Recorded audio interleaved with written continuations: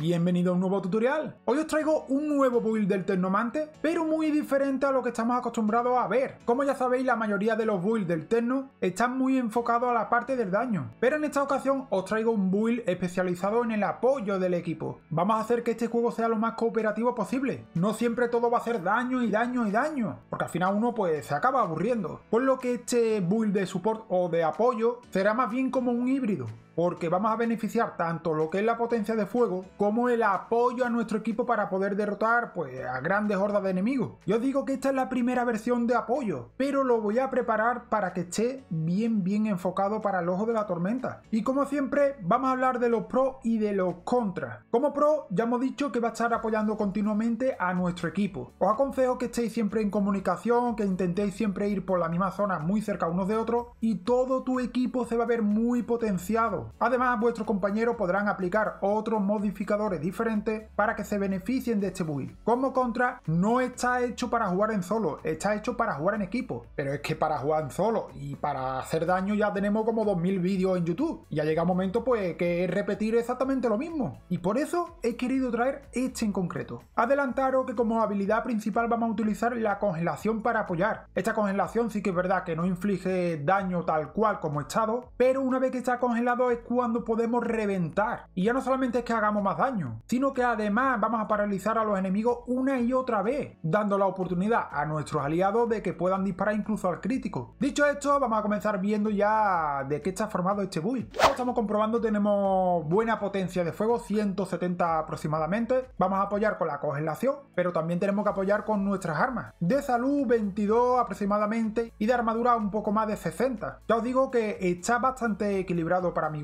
si os fijáis, también vamos a utilizar un poco de succión de vida de armas y también de habilidades. Y una buena bonificación de curación. En cuanto a habilidades tenemos torreta corrupta y criotorreta. Las dos torretas se van a encargar de congelar a los enemigos que tengamos cerca. Son dos torretas que se usarán de forma muy continua, sobre todo la torreta corrupta, pero no vamos a utilizar envenenamiento, sino congelación. Y nuestra habilidad estrella para este build se trata de estallido gélido. Si es cierto que tiene un cooldown de 20 segundos, pero se puede mejorar incluyendo nuevas armaduras de reducción de tiempo de habilidades, que es lo que pretendo para la nueva versión de este build. Y aquí llega el momento clave del por qué he llamado a este build híbrido. Si os fijáis, comenzamos la rama por la parte superior de pestilencia, pero a mitad de camino aproximadamente bajamos y continuamos por chamán tecnológico. Vamos a tener un aumento de daño de arma para defendernos también nosotros mismos, una reducción de esa habilidad de la torreta corrupta. Vamos a utilizar también la penetración de armadura como siempre, una reducción del radio de la distancia larga, o mejor dicho, dos.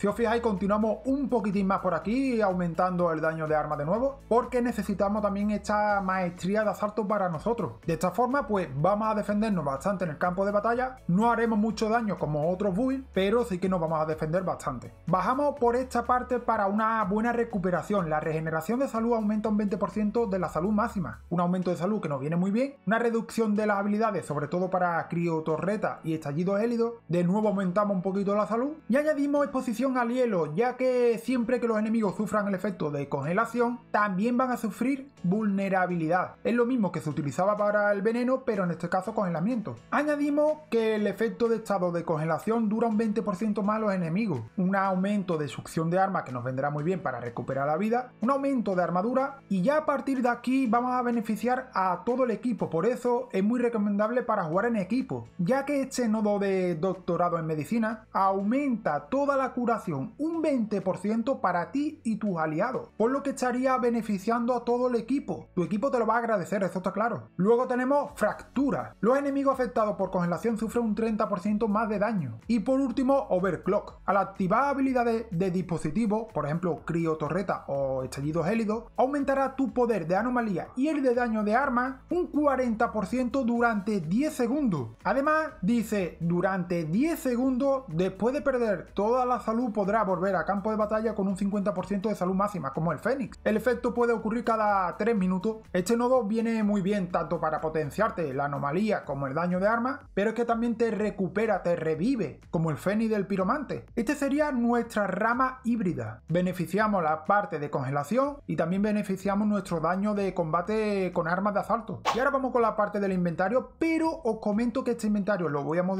para nuevas versiones de este build porque todavía hay cositas que quiero cambiar y que me hace falta. He mezclado un poco los atributos de potencia de fuego con reducción de tiempo de recarga y daño de larga distancia. Y en este caso como modificadores del casco tenemos componente helado que hace que la torreta corrupta en vez de infligir envenenamiento ahora inflige congelación. Tenemos sanguinario que ya prácticamente todo el mundo lo conoce y fijar un detalle para este build de apoyo y es que utilizo tres piezas del set de Monarca Boreal. Leemos un momento porque esto es muy muy muy interesante. Cuando tenemos las tres piezas aumenta el daño de arma contra enemigos congelados en un 10%. Además el daño de ataque crítico aumenta un 90%, un 90% para todos los miembros del equipo durante 8 segundos después de utilizar la habilidad Estallido Gélido. Modificadores tenemos Tormenta de Témpano que viene genial, ya que cada vez que se elimina enemigos que están congelados por la habilidad, pues estos explotan y inflige una bestialidad de daño. Le he añadido balas expansivas para un aumento de arma de asalto un 10%. Igualmente tenemos Faldón del Monarca Boreal, con Derribo con la criotorreta reduce el tiempo de recarga de la habilidad un 50% y caza de capitanes. Este, bueno, pues contra élite un 25% de daño. Continuamos con los guantes, en este caso tenemos, bueno, una bonificación de potencia de fuego con daño de larga y corta distancia. Tenemos purificación fría, este modificador seguramente lo cambie en cuanto tenga oportunidad, pero por ahora para jugar en equipo viene bien, ya que quita los efectos negativos y te hace inmune durante X tiempo. Le ponemos un aumento gélido, ten en cuenta que yo todavía no tengo el modificador de rango 3 de hielo, ese que aumenta un 25% de daño contra enemigos congelados que tanto queremos. Pues no lo tengo y me tengo que aguantar. Por tanto, en esta ocasión tenemos un aumento gélido de un daño del 15% contra enemigos que están congelados, que viene muy, muy, muy bien. Este modificador, por ejemplo, y el que he comentado del 25%, sería recomendable que vuestros compañeros de equipo se lo aplicaran porque van a ver un gran aumento de daño ya que todo el tiempo vamos a estar congelando. Y por último, las botas del monarca boreal. Un aumento de salud, reducción de tiempo de recarga, tenemos vista de lince, que matar enemigos apuntando con la mira te concede X de potencia de fuego durante 20 segundos. Se acumula hasta 3 veces. Y también tenemos invierno largo que aumenta el radio de la habilidad de estallido gélido un 66%. Como viendo, este sería el equipamiento de la versión número 1. Ahora vamos con las armas. Y yo, bueno, pues aquí estoy probando un poquito de todo. Como siempre, llevo fusil de asalto renegado de la tierra, con su racha de muerte y metralla de hueso como siempre. Y por otro lado, pues estoy probando por ejemplo la semilla infernal, ya que al utilizar el congelamiento vamos a paralizar a los enemigos y tenemos más precisión a la hora de disparar con críticos. Y este modificador ira de Moloch viene genial para los críticos, ya que los ataques críticos crean una explosión que causa X de daño e inflige quemadura a los enemigos dentro de un radio de 5 metros. No dice que tenga que matar con críticos, simplemente con que le dé con crítico ya está aplicando este bonificador y solamente tiene un cooldown de 3 segundos. Y como congelamos, tenemos mejor puntería para darle en crítico. Y le he añadido pues racha de muerte. Esta sería mi primera versión del build híbrido de congelamiento, de soporte, de apoyo, de como queráis llamarlo. Porque quería hacer algo diferente, que no sea siempre lo mismo de dañar y dañar y dañar, que ya uno se cansa de tanto dañar. Quiero ayudar al equipo. Y este build se centra sobre todo en el apoyo. Ya estamos muy cansados de tantos vídeos de daño, hombre. Espero que haya gustado este vídeo y recordad que tenemos en la descripción siempre, siempre, siempre el grupo de Discord. No te olvides de suscribirte para formar parte de esta comunidad. Un buen like y nos vemos en otro vídeo. ¡Chao!